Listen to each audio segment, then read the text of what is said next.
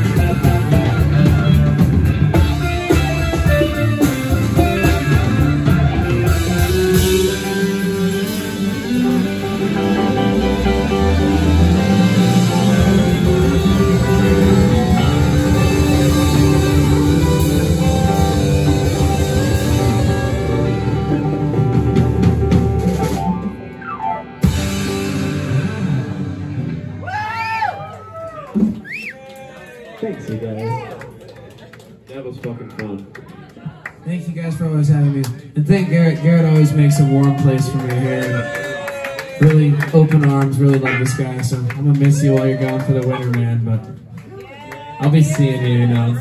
I'll catch a flight on a kite down there sometime, you know, sailboat or something. We'll be seeing you.